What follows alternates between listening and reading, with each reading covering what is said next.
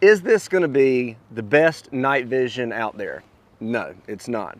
But does it work? Does it let you see in the dark? Yes. Now, I don't know about you guys, but seeing in the dark is basically a superpower. A system like this will allow you to see in the dark when nobody else can. And that is a pretty amazing thing, especially at the price point